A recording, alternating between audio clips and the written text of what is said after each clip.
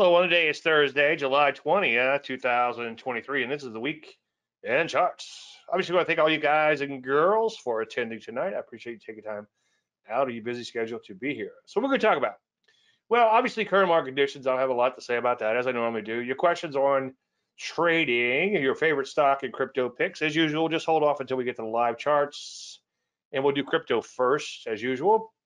So, what we're going to focus on, well, I want to sort of make hay while the sun shines. I think it's important to discuss the methodology in action, especially when there's something to do, and especially after we've been waiting for a long time and the market finally begins to take off.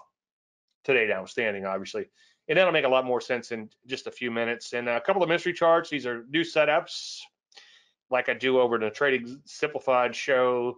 I want to talk a little bit about patience and how that can really pay off and then talk about going back to the well. You get into a position and then you get knocked out of it at a profit and sometimes a loss, and then you go back and take that same position again, provided of course it's set up. And then obviously we'll talk a little bit about free rolling because that's something that we've done quite a bit of lately, knock on wood, come in.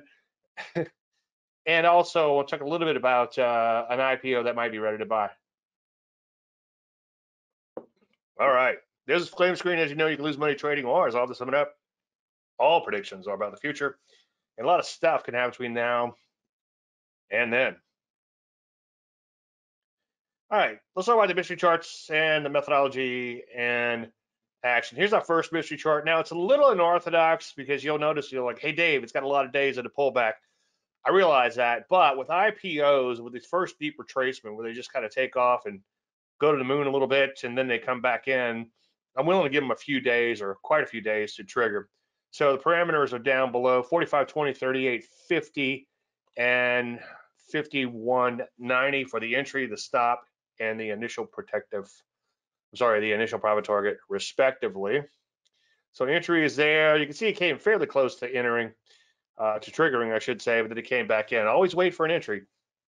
As I preach ad nauseum, I'll get an email six months from now about a stock that's lost 80% of its value or 50% of its value or whatever. And uh, the client will be complaining. And I'm like, well, I never would recommend a turd like that. and they're like, yeah, you did. And then I go back and look. It's like, well, it certainly did, but it never did trigger. Surprised at how many people will take trades that don't even trigger. I guess everybody craves action. As I said before, I lose clients when I don't recommend doing anything. I lost clients over this last little flat period. In fact, one, I told him that the next guy's gonna look like a genius, and we'll get to that too. We've been talking about that quite a bit lately. So here's the mystery chart for this week. Nice little Landry Light pullback. Actually, we have another mystery chart. The other one was a mystery chart too. You can see these once they trigger, and even if they don't trigger, but once I take them off of my official recommendation list, you can see them at davelandry.com slash archives. It's a great exercise, if I say so myself, and going through these stocks because you'll see when I recommend the stock, I'll tell you why I like it. Uh, maybe a, a, couple things to note about it, maybe a couple things to be concerned about, but why I like it anyway, etc. And then along with the risk parameters too, so you get, kind of get in my head, which you probably don't want to be for a lot of things, but for trading you might want to be when it comes to these core methodology type of setups. So the parameters are 425, a protective stop of 30, that's the entry, 425 of three, protective stop. Let, let me just rewind it. Entry of 4.25, protective stop of three. Now that seems kind of wild and crazy, but the HV on this stock is very high. I think it's triple digits historical volatility on a 50 day basis and then the IPT is 550. So that's a buck 25. I know percentage wise that's crazy, but that's what it called for. It was just at five not that long ago. Now it's at three and, and a half. Anyway, entries here, stop is here, IPT is here for those newer or new to my methodology. We trade like swing traders, but we do put a bigger picture pattern behind us, such as the setup in and of itself, and then sometimes even bigger picture patterns like cup and handles, double bottoms, and things of that nature. In this case, you've got a nice, nice, nice uptrend. It's also accelerating. You've got Landry light, as you can see, then it pulls back to 30 EMA. Now this down here, just in case somebody's going to ask, because somebody will, is how many days the lows are greater than the moving average, and on the downside, how many days the highs are less than the moving average.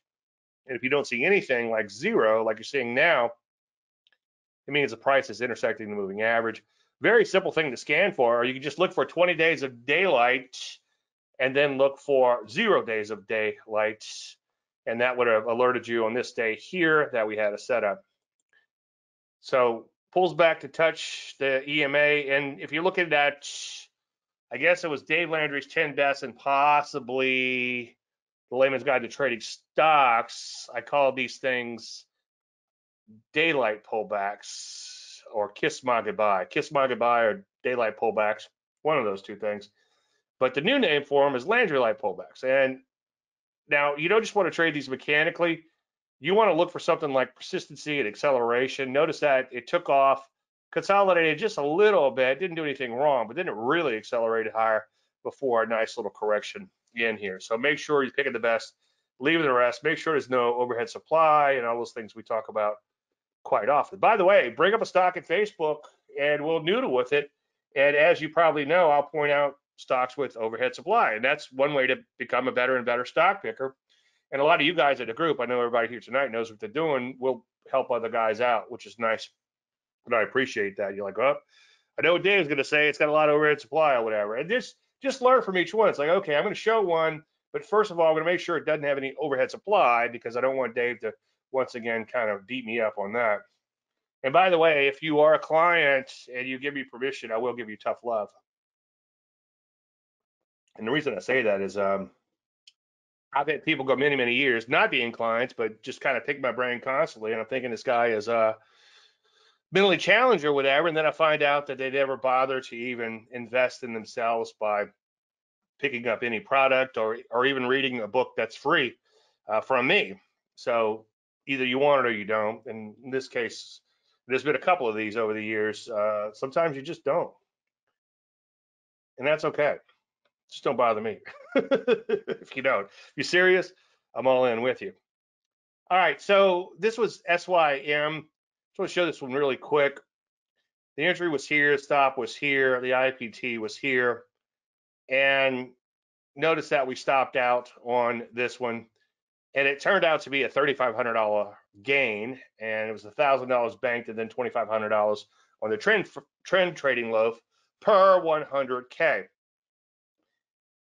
So the hypothetical model is based on a 100K account, just FYI. Now later that day, I'm sound more coon ass than uh, SpongeBob, right? Notice that I recommended it again. So you can see this time only 200 shares because, and notice, look, it stopped out up here, okay? So you can see it stopped out up here on this day. And again, you could you could find all of these recommendations at that aforementioned link, davelandry.com slash archives. So we made 3,500 per 100K, okay? And, you know, I looked at it and said, it still looks pretty darn good because now it's a Landry Light pullback. I think it's worth a shot. And you can see I have it down here, entry of 45, protective stop of 35, IPT, or initial profit target of 55. And we actually lowered those parameters a little bit as it pulled back a little further. Those were the original parameters. Once again, you've got nice, nice, nice Landry Light, almost textbook in nature. In fact, this other setup here was just absolutely beautiful. And I'm kicking myself in the ass because after it triggered, I was going to put it on Twitter and just say, this is a really good looking setup because you've got nice, you got a nice uptrend here. You've got acceleration. You got the Landry light. It's a clean setup. A lot of things going for it. And then once again, it's a pretty good looking setup. So again, Landry light pullback. Notice that the Landry light count was right around 20. And that's a good number for a count if you're doing Landry Light pullbacks. And if you're newer to trading, I would suggest you do something like Light pullbacks. As Linda Raschke once said, all you need is one pattern to be successful. And I think this might be the pattern, as I've said in recent weeks. And go and watch those archives, and you can find them on my website, davelandry.com, for those uh, shows. Or if you go to YouTube, it's YouTube slash Dave Landry.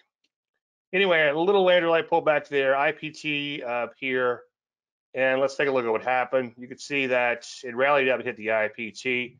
Now, when you hit the IPT, you might trail a little bit before the IPT is hit, but as soon as that IPT is hit, even if if it's intraday, and I know I'm beating a dead horse here, but we've got new people or people coming and going, I should say, so I need to kind of reiterate some of these concepts. It'll save me from answering a lot of questions later. But leave a comment below if you are on YouTube and like the video, if you like it. If you don't like it, go have no fun somewhere else. I guess it doesn't matter anymore because YouTube doesn't show the, the dislikes, you know. you see the memes out there, you know, it's like you got a YouTube video on something, instructional video, and you go try to make it, it just turns out to be a mess and it doesn't work. And that happens, that that that tended to happen after the likes, uh, they removed the dislikes. Some had a thousand dislikes, so like, okay, I'm not gonna try to build that. Anyway, I digress. You can see we came uh, fairly close to the stop, within about a couple of points of it today. But so far, so good. And I'm hoping, I know you should never hope in this business, but I'm hoping it doesn't turn into a better than poke the eye trade. Better than poke in the eye trade, you get the first loaf off and then you stop out at break even. And it's much better than the poke in the eye. If anybody complains about them, I tell them to send me the money, and nobody has yet to send me the money.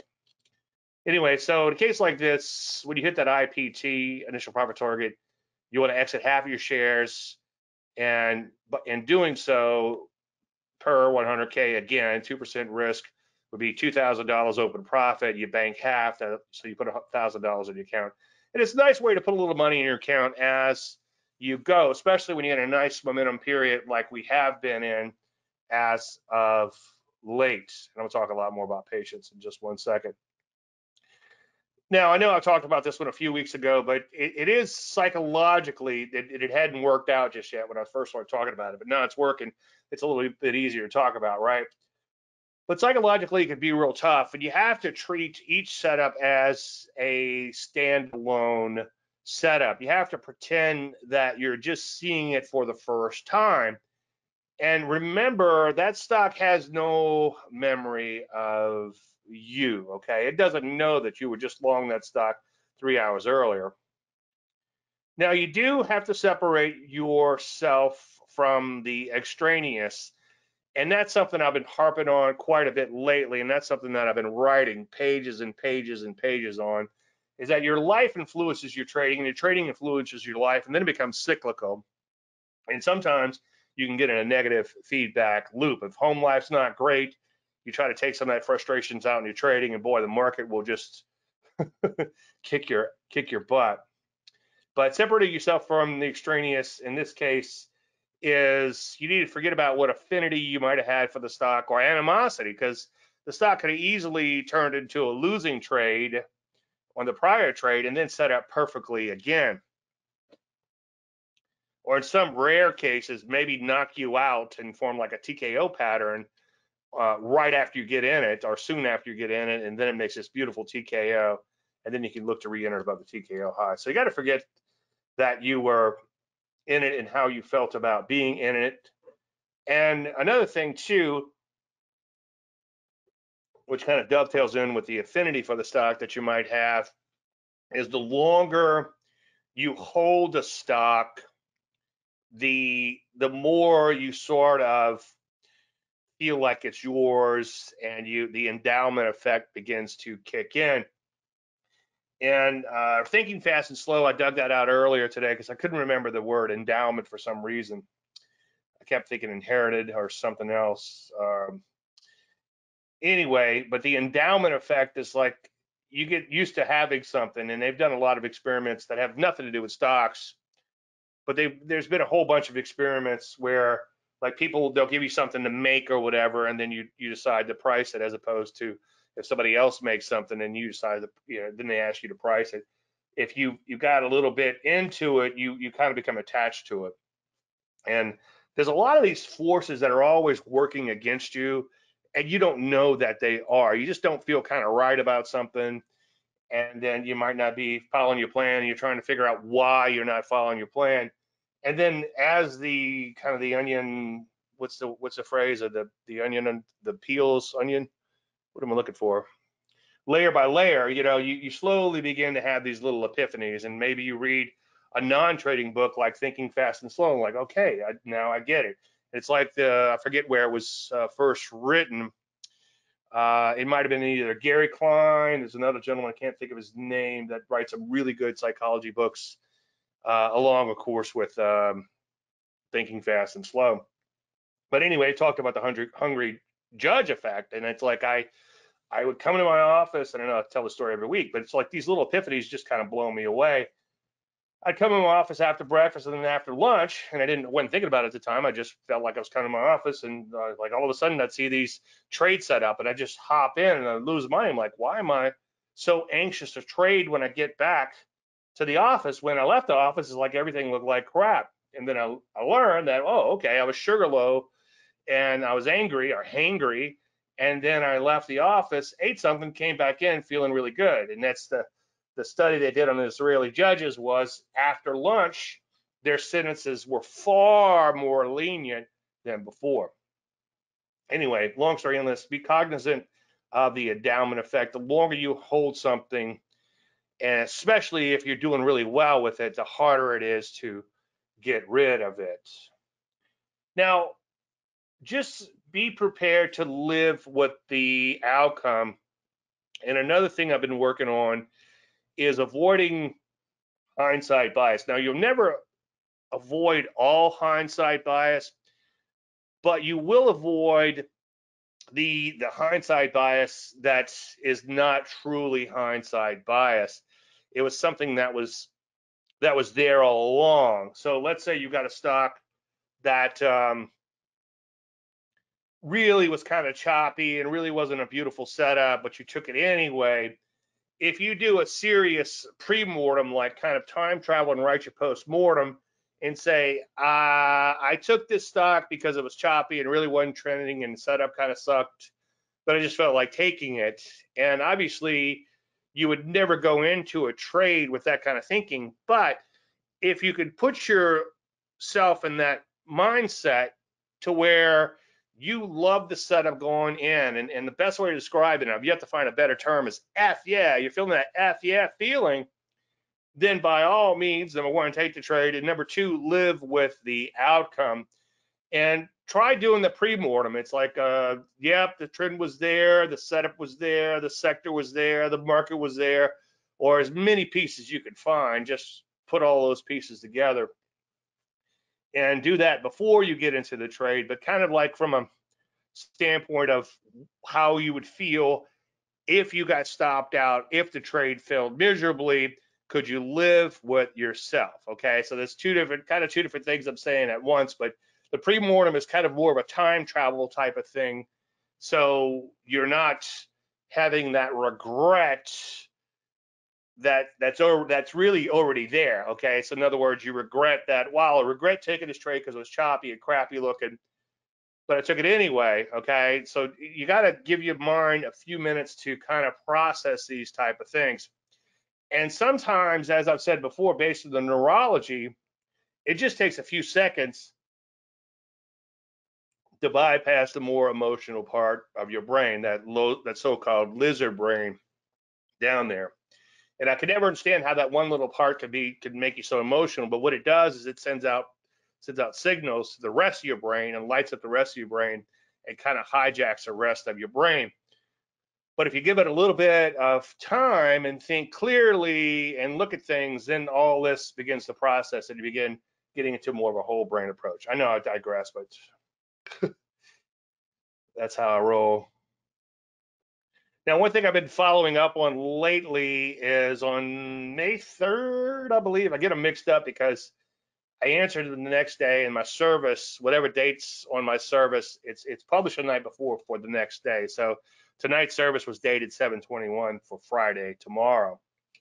But anyway, just paraphrasing, I said, assuming that the next guy is a trend follower, this guy was kind of, I guess, bored with sitting on his hands or wanted some kind of action and there was no action to be taken. And I said, look, here's a deal. Why don't you hang out a little while longer? I don't know if he did or not. I don't want to pour, pour salt in his wounds, but I said, because assuming that the next guy is a trend follower, he was looking for someone else to give him advice. I said, he's going to look like a genius. And the next guy did look like a genius. And of the next guys, me. So at the peak recently, it was well over 12 or 13K and this isn't a day by day. These are just just the trades, and some of these trades are still open. So this graph's going to kind of change a little bit. There was one losing trade since, and it's not always like that. Believe me, this is what we live for. Okay, these nice runs like this, and the real money would be if one of those stocks. We'll take a look at the portfolio here. I think the biggest winner might be about 2K, especially after today. But it'd be great if one of those stocks really took off, and that's the ultimate goal is to get a 40 or 50 thousand dollar move, some sort of like 400 or 500 percent move on a stock, and it doesn't happen that often. I won't make it sound like it happens that often, but if you do a lot of waiting, they will eventually come along. And 40, 50 thousand dollars on a 100k account, and that could really, really make your year. Certainly cover a lot of damage or just normal drawdowns. Anyway, this all began with the day I received the email. The I checked the portfolio, and we just had Riot in the portfolio, and it was underwater by 233. So from negative 233 to a nice uh, run. Here's the current portfolio. As I told you a second ago, it looked a lot better yesterday. uh, we took a little bit of a hit today, but it comes with the territory. Everything was overbought and due for a pullback, and it is what it is. And so the biggest winner right now is Riot. You can see 1769 plus a thousand banks, so 2769. But the real money is in this second loaf, and this is where sometimes you get the 50%, 100%, or 200% or 500% move. Not that often, but every now and then. And now we have a 50% here, 40 something percent here, and you can see so far so good. Again, knock on wood implied, but you could look at these shares here where this is free rolling. So whenever you see the white followed by the yellow, that position is still on. And this is the trending loaf, so to speak, and this is the trading loaf, so to speak. So we bank those profits just in case that market comes right back in. At least we get something. And the other thing it does, by the way, it's like you think today was was choppy, okay, as far as or was a was a hit, okay that was open profit drawdowns hit. If we had the rest of the position still on, then that hit would have been much, much, much worse. So we're trying to mitigate those swings longer term. We're trying to make sure we're taking some money off the table. Uh, what does Linda Raschke say? Take a cookie when they pass the tray around, feed the ducks while they're quacking, those type of things.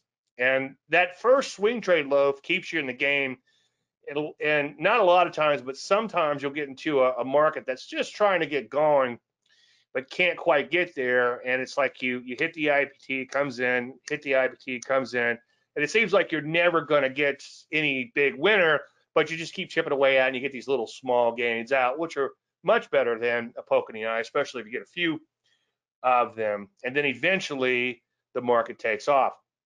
Now, uh, as I've said before,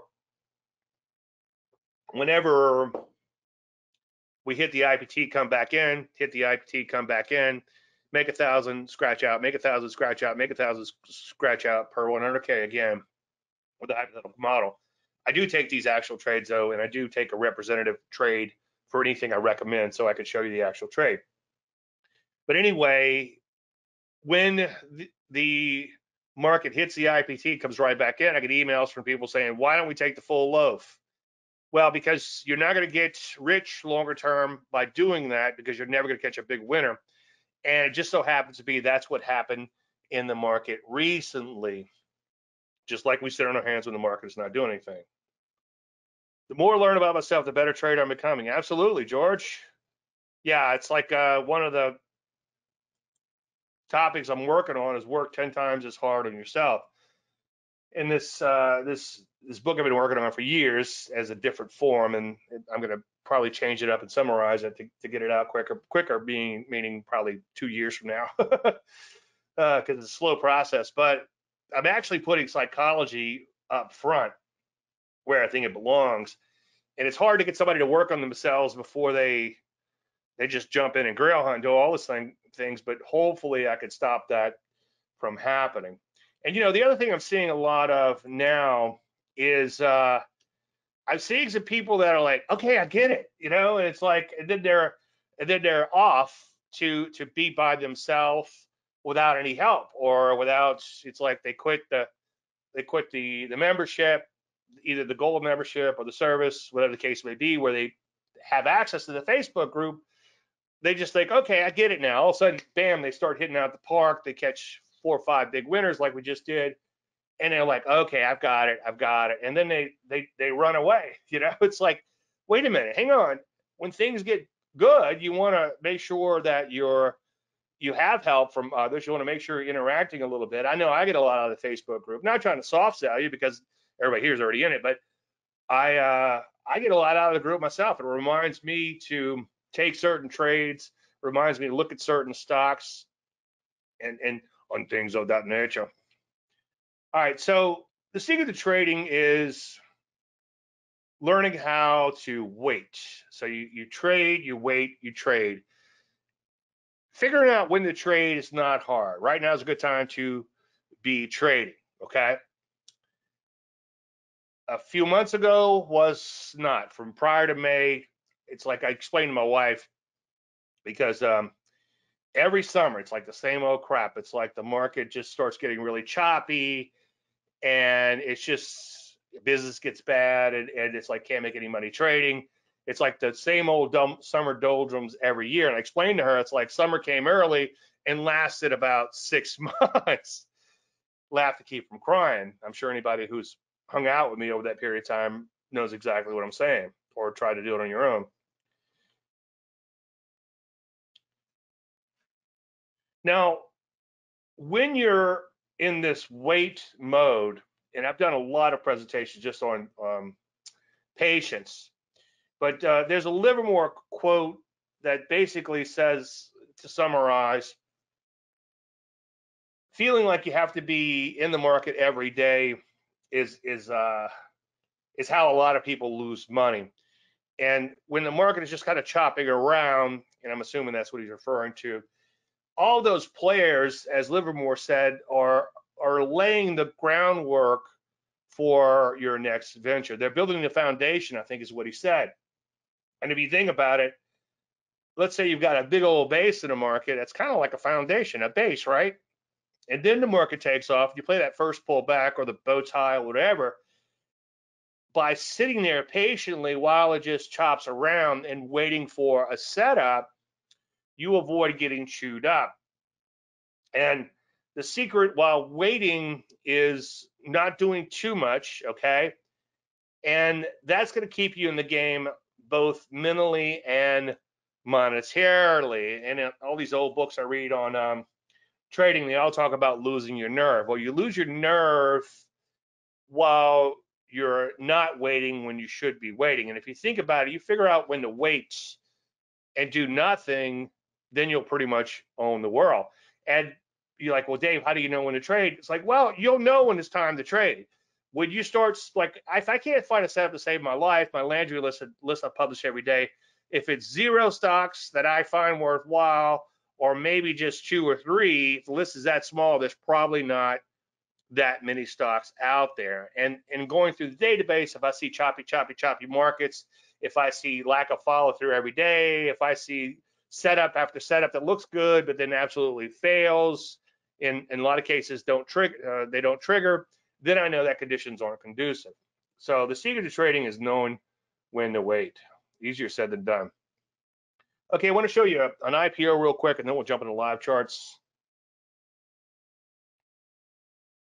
So here's the case of go or no go. Um, John, I think, brought this one up in the group. If not, yeah, John gets all the credit for IPOs, and I know other guys and girls are bringing them up. So I need to make sure if it's not John, I give them credit too. But uh, anyway, last week we talked about the day one rule. So day one, day two, day three, day four. So day one high is greater than the next three highs. Okay. Or if the day one high is not exceeded. I wrote it. If you go back two weekend charts ago, or maybe one weekend chart ago, you'll see where I went through a lot of details on this. But anyway, based on this, the buy at B would be a close above this high. So Notice that it did pierce above that high. That doesn't count. It actually has to close above that high. Now, am I taking it? No. And one reason is the range is okay. I like to see a little bit more range in my IPOs. And the other thing is with an IPO for a pioneer setup, not for a first pullback, okay, or some of the other setups we trade, but for a pioneer setup, meaning that we're getting in early, as early as day five on the close. This thing comes public on Monday, and on Friday at the close, we might actually be looking to buy this stock or, or an IPO, I should say. I do think it's okay to say, well, hang on a second. This is like a stodgy old oil company that's coming republic, so to speak, if that's a word, or this is a brick and mortar retailer like Academy was. Well, Academy had a, buy a buy a B or something Pioneer set up, and I ignored it because it's a brick and mortar retailer in this day and age. How the hell are they going to make money? Well, this thing called the pandemic came along, and they did the stock did incredibly well. Now, I did take the secondary setup, ASO, and if you go and look, look at those aforementioned archives, I guess that was at 2020 in the midst of the pandemic. I took a secondary setup and I don't worry so much about what's the story, fad or glory, but you want some kind of excitement if you're going to go in and take these pioneer setups. I'm not saying fundamentals, but I'm looking for some sort of fad, some kind of story, like a hair product that everybody's excited about, or some jeans that that uh, teenage girls are willing to pay 100 bucks for, or their parents are willing to pay 100 bucks for. I guess that's cheap nowadays, maybe 150 bucks or something, but something along those lines. So I did a YouTube, I'm sorry, a Yahoo Finance lookup on this thing, and it says Savers Village, Value Village Incorporated sells secondhand merchandise at retail stores in the United States, Canada, and Australia. Now, maybe maybe it's an awesome store, I don't know, but I'm having a hard time getting excited about a secondhand store. I mean, you know, I, I don't mind going pop some tags every now and then. You know, I'm gonna pop some tags. I got twenty dollars in my pocket, but I'm not gonna get that excited about uh, a retailer like this. Anyway, so I'm going to go ahead and pass on this. John says he's going to pass too. I agree with you. Now, this doesn't mean that this thing this thing may be the hottest store in Hot Town. I don't know. There's none around here. I think the closest one's in Missouri, and I'm certainly not going to go over there to check it out. Not that I'm confusing the issue of facts, but you kind of get the idea. So maybe it could be a fad. I don't know, but on a pioneer setup like that, I'm going to be a little bit more stringent and I'm going to actually think about what they're doing. And I see a lot of oil companies come public, uh, republic, I guess, like they'll go bankrupt and then somehow I don't know how they do it again, but they'll IPO again. And I'm like, wait a minute, isn't that that old oil company that went bankrupt years ago? It's like, I think I'm going to wait for a secondary setup. All right, let's jump into crypto. Yeah, I agree with you on that one, John. All right, so let's take a look at crypto and then we'll hop into the overall market. Now, I haven't been focused a lot on crypto lately. I haven't found a whole lot of setups lately in crypto, but as I've said quite a bit, crypto heats up and cools off really, really fast. So you really have to be on your toes. Let's just take a look at some of the big ones. And if there's some smaller pairs you guys want to look at, we'll take a look at that. But you can see Bitcoin has pulled back to the 30 EMA, and right now it's just it's just stuck in this range, as you can see. So that's a bit of a bummer. And I don't use the word hope, but hopefully it'll find support down here and and then begin to take off. As I often say, I'm kind of a closet bull, well, maybe not so much a closet bull, on Bitcoin, but I'm also not stupid. It's sideways right now. So as a trend follower, I'm not too excited about it. But I do think there's some potential there. When it goes, it goes. One thing I've been finding kind of interesting is the crypto stocks and maybe this is just a feeling, but it sure seems like you take a look at like Riot that we looked at earlier, and we could pull it up in a second, which is in the portfolio. It's it doesn't seem like it's coming in that much compared to what Bitcoin is doing. It'd be, it would be kind of fun. I don't even part of me, but uh, I think you put in like um, you could put in Riot colon and then dollar sign BTC USD in stock charts, and that'll show you the strength of Bitcoin or the weakness of Bitcoin versus Riot. I wonder if you could do it in, in uh, let me see if you could do it in. I don't know if you could. Does anyone know if you could do it in uh, ACP? Let's see what happens. Oh, did it work? Yeah, it worked. Um, let's take a look at this. I don't know if it's still shared or not. Let's see if we can do it.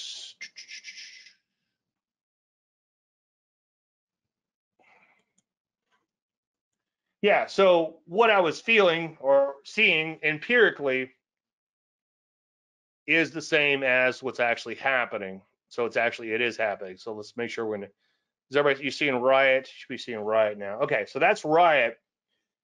And it's, this is its performance versus Bitcoin. Just put a little colon in here. And this is kind of a fun thing to do. I know you want to party with me. but you can see it's really been strong compared to Bitcoin. And now it's it's got a little weakness in it compared to Bitcoin, but for the most part, it really has been outperforming Bitcoin. All right, let's hop back into crypto. Let's just take a look at Ethereum real quick, and then we'll um, open up for questions. Unless there's some uh, crypto you guys want to look at. But you know, you really got to be on your toes with crypto because it heats up and cools off really fast. But yeah, I'm looking forward to um, getting back into it heavily. All right, I'm gonna go ahead and shift gears here. We'll go ahead and jump into stocks. If you guys want to start asking about individual stocks, feel free to do so now.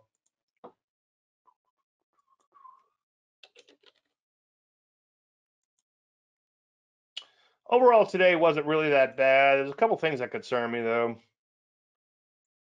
So the P's got whacked a little bit, but you know, they actually could use a little bit of correction. Remember, I talked about this flag ad nauseum in the trading service and in other presentations, and it did begin to take off out of it. It took it took a little while to get going, but it took off nicely. And then now, if you squint your eyes and back the chart way out, this doesn't look like a whole lot in here. It's only down a little bit less than a three quarters of percent today, and it could actually use a little bit more correction. I don't want it to correct, but it wouldn't surprise me if it corrected a little bit more. The NASDAQ got hit a little harder, down 2%, and a lot of that was in the semis. You can see we're not too, too far away from all-time highs. That's why the TFM 10% system, which is based on 50 weeks high, 50 week highs, but you get the idea. Buys on strength. So we've been long this, or I've been long this one since uh, 319.49 got whacked a little bit on that. That might be my fault. I was busy counting my money on that one, feeling pretty smug, but uh, it happens. Spell the silent sh. Let's take a look at the Rusty. Rusty, a bit of a bummer coming back in today, getting whacked a little off its worst levels though, and it's recently probed the top of this wide and loose range. It has a little bit more overhead supply and then a lot of more overhead supply to get through, but as a general statement, it's doing pretty good. Somebody emailed me earlier and said that they are printing money in the the what's the IYW? And look at that. I mean, that's that's something that I've never thought about putting a TFM system on, TFM 10% system. But like the Rusty, it can be a little wide and loose, but boy, this recent run has been fantastic. And something like that TFM 10% system, 10% system can work at something like that see my other videos for more on that or go to YouTube slash Dave Landry and, and, and uh, search for it on my channel. All right, let's take a look. Gold, a commodity, you can see kind of rallied up, stalling out a little bit in here. If you listen to the radio, you're gonna have to buy all the gold you can, but what do you what do you buy gold with? Dollars. So it's like if gold's going up 200%, why do they want your dollars? So that's that's something I never could wrap my head around, but it is what it is. Energies actually ended a little higher today. They're wide and loose, so there's nothing to do there. That's why I hadn't talked about them lately. you know me, I like to break out of this range and not look back for a while. Obviously, a lot of new leaders have emerged in more recent times. Now, here's some good news here. The banks, remember, we had the debacle a while back with the regionals imploding. Banks have done exceptionally well. They've broken out above this range. They're going up. I wouldn't rush out and buy them just yet, but I think it's pretty cool they're going up because they got whacked pretty hard. In fact, let's take a look at those regionals real quick. Regionals got slaughtered back here, and it looked like it was going to be the end of the world. And then all of a sudden, you can see we kind of have a head and shoulders bottom. And what I like about this particular head and shoulders bottom, now remember, I don't trade directly off of big picture technical analysis, but I do use it a lot in my analysis. And so you've got kind of a shoulder back here, you got the head here, and this shoulder is lower than this shoulder over here. That's very important with the head and shoulder pattern. On the upside, you want that right shoulder to be higher than the left. And that's something that I, am sure somebody's written about it. Whenever I tell you something and how smart I am, I find out I find out years later that somebody else has been saying that, or even a hundred years ago. if you look at some of these books, like um, what's the name, uh, G.C. Selden, Livermore Schabacker, Edwards and Magee, I'm sure if you dig out all those, somewhere in those, they'll, they'll talk about a right shoulder, head and shoulder. But I do like the right shoulder to be lower for buys or to be bullish or in higher when you're looking at a head and shoulder to be bearish. Let's take a look at biotechnology. Biotechnology stalling at the top of his range. That's a bit of a bummer, kind of wide and loose. Here's the good news, though. Speaking of drugs, bam, look at that. Drugs are kind of all over the place but they did take out the top of their range today. Let's not start kissing each other just yet, as usual. Follow through will be key, but they had a decent day, up a percent and a third, almost a percent and a half, and that's in spite of a crappy market. So that's kind of exciting. Manufacturing just uh, probed all-time highs today, came back in a little bit. So far, so good. Nice, fairly persistent uptrend remains intact there. MNC got hit a little bit today. Take a look at like nail. Nail got whacked pretty hard, as you can see. If this high was lower, this would be kind of a really pretty. This high was less than this high. That'd be a beautiful TKO, as George was pointing out um, in the group today. I think he was just talking about home builders in general. But yeah, they kind of TKO'd a little today. Longer term, though, still in a pretty darn good trend software just kind of pulling back in here, kind of a TKO type of move. Speaking of TKOs, but so far, so far so good. Took out this little pivot point here. It's a trend pivot pullback pattern. I call that's what I call it, and it's just had a bit of a TKO type of move. So that's pretty good. Transport's not an area I get that excited about, but they're going up. So that's a good thing. And they just probed right around this all-time high level, and they actually hung in there fairly well today. So that's a good thing. Now here's there's always something to worry about, right? Take a look at semis. The semis are a big bummer in here, down about three and a third percent, gap down, coming back down to where they just recently broke out from. Now this is not the end of the world. It's still an uptrend, and we're just off of all-time highs, but this certainly is a, a bit of a setback. And the great thing about all-time highs is new highs begets new highs. So people are waiting for a market to sell off and that sell-off never comes, and they throw in the towel. And then shorts, who are much smarter than the rest of the market, decide they're gonna they're gonna show their brilliance by shorting things that are going up, and they keep going up, and then they get forced to cover. So all of that's kind of the psychology is built into something like the, T, the TKO pattern. The Johnny come latest get shaken out, and then the market is in the shorts get sucked in, and then when the market rallies, it you can take advantage of the predicament of those traders. But I don't like the gap in here. I wouldn't say that this is a TKO you want to trade, but the fact that you did have a knockout move today, if it doesn't follow through too too much to the downside, then that would certainly be a good thing. Of course, if it went right back up, took out, it filled this gap. Let's just say it fills this gap. Then those people who were waiting for that correction and didn't get in might pile in, and the shorts will get squeezed out. So, not going to count the semiconductors down and out just yet, but today they did take a little bit of spanking. Retail's wide and loose longer term. it has been trending as of late, like most areas, down a little today, not the end of the world, but still looking pretty good. So overall, things still look pretty darn good. All right, let's take a look at uh, some your stock picks. George wants to know about ROIV. Yeah, it looks pretty good. Let's back it out a little. I don't see a whole lot of old problems here. I got a little trading back here. Let's not worry about that too much. Short to intermediate term, it's kind of all over the place with these wide range bars up, wide range bars down. This bar is a little concerning here. So it, it doesn't have a whole lot of structure to it. As a general statement, yeah, it's trended higher and now it's beginning to knock out. But based on the the wide and loose nature, a little bit longer term, and based on these these tails, just crazy tails, I would leave that one alone. RDFN for John Redfin, I think. Oh, that looks good. Let's see if I can pick it apart a little bit. Nope. Nope, that looks pretty good. Um, it's a little crazy. It does kind of trade in chunks. It could be a little wide and loose.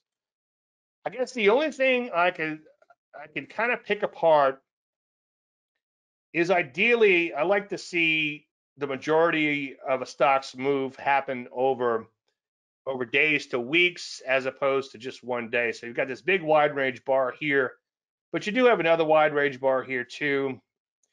And I suppose that's okay. Um, I'm going to give you a not bad on this one. It could actually use a little more pullback, but if you pull back any further, then it would be back into this prior pullback. So it's kind of like I kind of have to work hard to pick it apart. I think that's where I'm going. So I'm going to give you a, a, definite maybe on that one. And since you know what you're doing, I'm, I think you'll do okay. And by doing okay, I mean even if you get stopped out, you get stopped out. Okay, ZGN. ZGN looks okay, a little wide and loose, a little crazy longer term. And it just kind of barely took out all this fluff in here it just I don't know. It's hard for me to get too excited about this one. Again, it could use it's kind of one of those cases where it could use a little bit more pullback, but if it pulls back much further, then you're back below where it broke out. So I would pass on that one. And maybe I'm being too much of a perfectionist, but right now I'm finding not more stocks than I can handle, but plenty enough stocks. Okay.